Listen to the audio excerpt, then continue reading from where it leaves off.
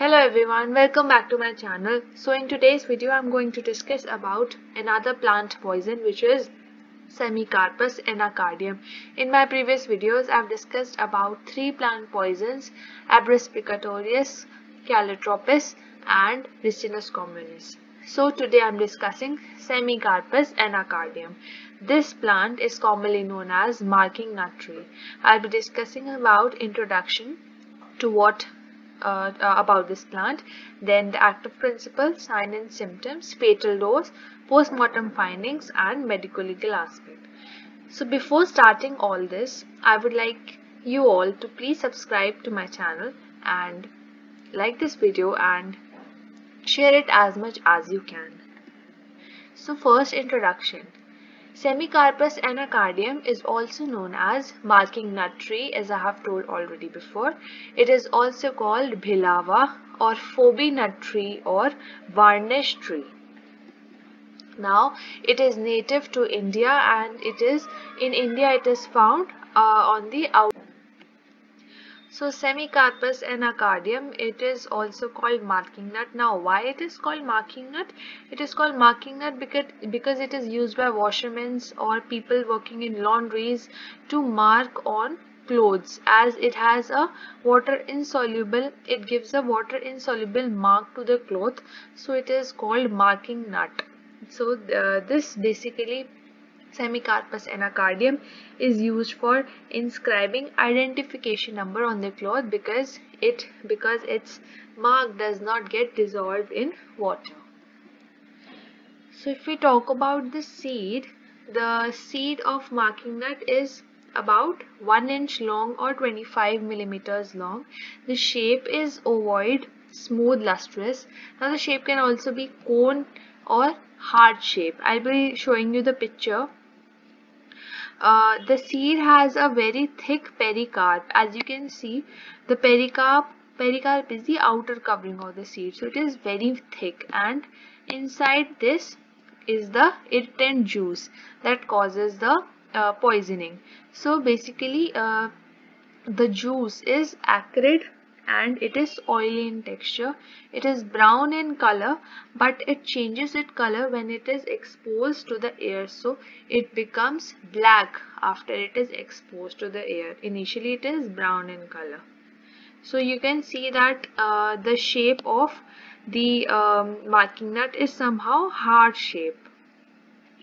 So uh, if we talk about the active principles then there are two main active principles.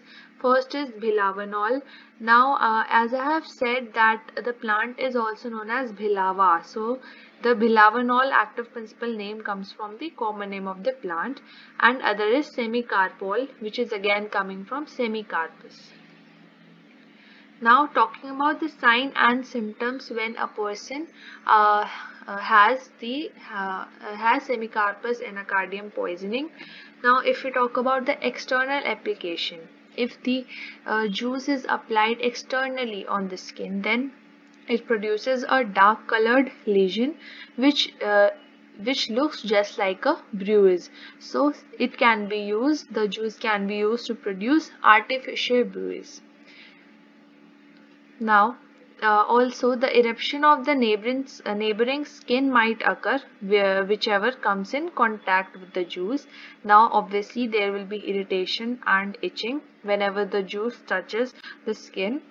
There will be painful blisters might be formed uh, which contain acrid serum and later an ulcer may also be produced. Now if we talk about ingestion, if the juice is in, uh, is ingested into the body, then if we uh, then the uh, gastrointestinal tract, what we see there is that there are blisters formed on the throat, throat. Sorry. Then severe GIT irritations can be seen uh, can be seen along with vomiting and diarrhea. Then cyanosis and hypotension are some of the other symptoms and reflexes might be absent and delirium, coma, death all these are symptoms of cent uh, central nervous system. So these are all the signs and symptoms if there is poisoning from Bhilawa. Now if we talk about the fatal dose, fatal dose is 5 to 10 grams or uh, if seeds are taken then 5 to 8 seeds are considered to be fatal. If we talk about fatal period then it ranges from 12 hour to 24 hour time period. Postmortem findings. Now bruises can be found. Bruises like lesions with small small blisters over them may be seen near the edges of the mouth or lips or even throat. So there are bruises or blisters seen around mouth, lips, throat. Then in stomach, the stomach is congested or inflamed. Inflammation of stomach might have occurred or congestion of stomach may have occurred. Then liver, if we talk about liver then there can be some degenerative changes seen in the liver and other organs are also found to be congested. Now medical legal aspects. Accidental poisoning may result from due to the uh, administration of juices uh, that comes out from the pericarp. Then for criminal abortion I wanted to write abortion by mistake. So for criminal abortion purposes, juices may be, it may be applied on the abortion stick.